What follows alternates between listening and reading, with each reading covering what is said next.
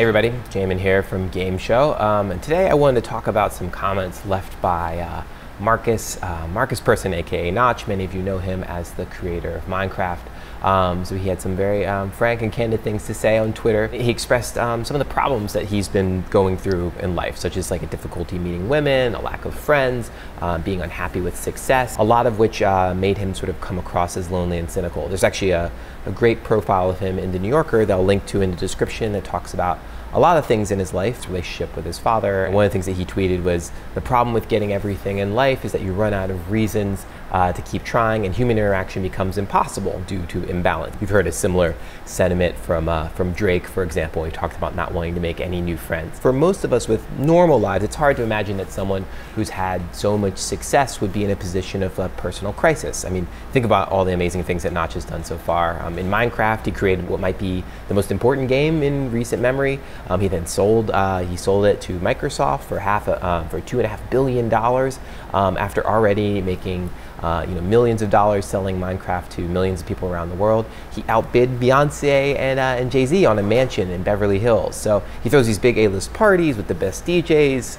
He's got giant containers of candy in his own home and a giant entire wall of it. So actually it's interesting. I think that loneliness in game design is, is pretty pretty common. I wouldn't say it's, you know, super widespread, but I think there's definitely been a lot of people who've talked about um, sort of the nature of game design being this kind of lonely practice. It's a very demanding field. It often requires long and solitary hours in front of the computer, um, especially for you know a lot of game developers. They work on their own, um, or you know maybe they work in small groups. If you remember the interview that I did with Robin A little while back, she said that you know one of the things that she really likes is being able to work with people. But for someone like Notch, that might not necessarily be an option. Davey Wreden, who made the Stanley Parable, for instance, has expressed um, his own feelings of depression after releasing his game. He drew a comic um, that I'll link to in the description about it. Uh, and again, someone who's you know experienced a lot of commercial success as far as game design is concerned. Then there's another piece that uh, Simon Parkin had written for the New Yorker that was called "The Guilt of the Video Game Millionaires," about how you know these rags to riches developers can be um, you know filled with guilt and resentful and not feel like they can connect to other people. And then there's Notch who's um, you know expressed some you know very profound sadness in a very public forum that is Twitter.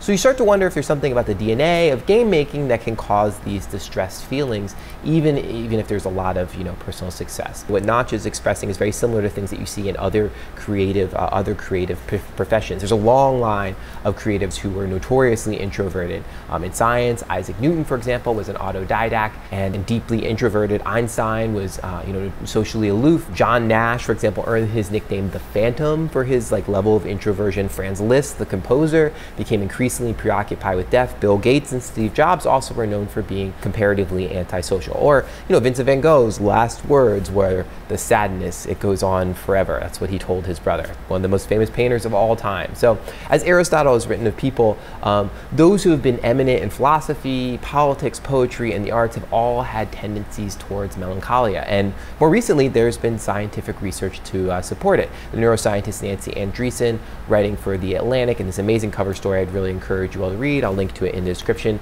She, um, you know, she showed some of her findings about creative people that she studied throughout throughout her career. And one study found that a full 80% of people from University of Iowa's Writers Workshop, including Kurt Vonnegut, had experienced mood disturbance in their life, compared with just 30% of regular non-creative people. And Iowa, Iowa Writers Workshop is, you know, it's one of the best writers uh, writers workshops in the country. You have incredibly profound and talented people who are passing through. So one possible explanation for this is that creative people tend to see the world in just a different way. That that, that that's how they get their insights, which can lead to a harder time connecting with people, um, which can lead to things like loneliness. So I'm not saying that Notch, you know, um, is or isn't a creative genius. That's for history ultimately to decide. But video games are a creative endeavor, so it's only natural to expect um, these creators to um, act eccentric or express emotions that we may not connect with creative success. So you know, ultimately we should we should be really really supportive of them. Um, you know, it's it's one of these things where you know video games because they're such a young medium, some of these things that we know to be true about creative types in other disciplines. We're just starting to see that now uh, with game creators as well. So obviously, wish, wish Notch the best, and uh, I hope this gives a little bit of insight into you know the creative process behind game design, which isn't just full of amazing, wonderful things and selling millions of games and becoming famous. It has its own has its own thoughts and concerns. Anyway, uh, I'd love to know what you think about uh, you know Notch's uh, recent candor on Twitter, and uh, hash it out in the comments. And I'll see you all in a bit.